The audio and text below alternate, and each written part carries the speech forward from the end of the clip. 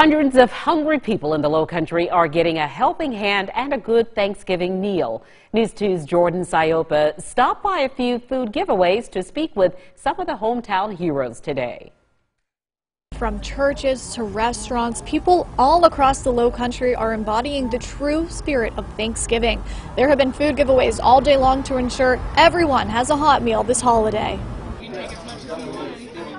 making sure no one in the low country goes hungry, one meal at a time. There's a group of us here today that's eating a lot of food.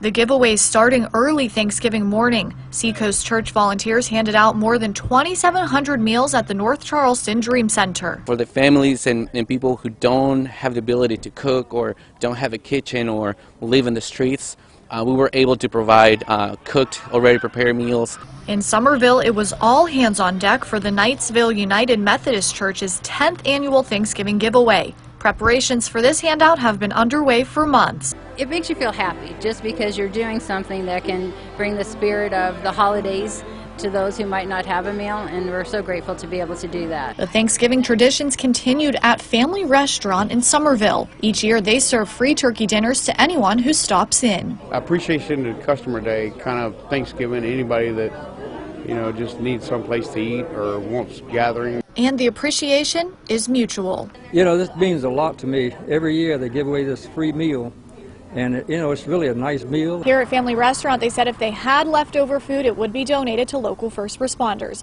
Reporting in Summerville, Jordan Siopa, Count on 2.